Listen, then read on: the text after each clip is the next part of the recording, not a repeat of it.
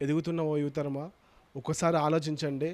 ఒకసారి ఎమ్మెల్యే అయితే తరతరాలకు సరిపడే ఆస్తులను దోచుకోవడంతో పాటు ఒక ప్రజాప్రతినిధి అయితే కొన్ని కోట్ల రూపాయలు దోపిడీ చేస్తున్న పరిస్థితి ఈరోజు రాజకీయ వ్యవస్థలో కనిపిస్తూ ఉంది.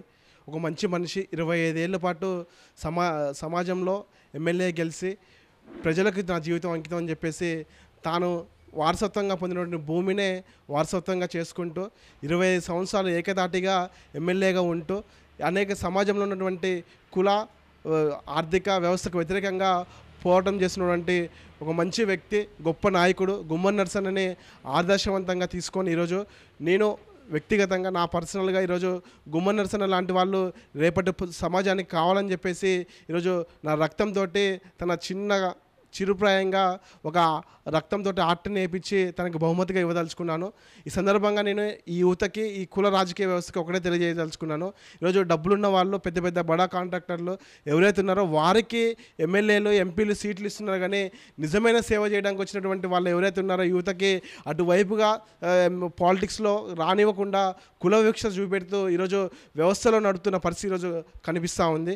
మేము ఏమంటున్నామంటే గుమ్మ నరసన లాంటి వాళ్ళని ఆదర్శంగా తీసుకోవాల్సిన బాధ్యత ఇప్పుడున్నటువంటి రాజకీయ నాయకులు కావచ్చు రేపటి భవిష్యత్తు యువతరానికి కావచ్చు వాళ్ళందరికీ ఉన్నదని చెప్పి సందర్భంగా నేను తెలియజేస్తున్నాను.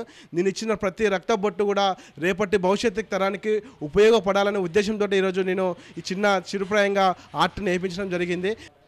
కాబట్టి ఈ సందర్భంగా నేను ఈ దేశ యువతను ఒకటే కోరుకుంటున్నాను.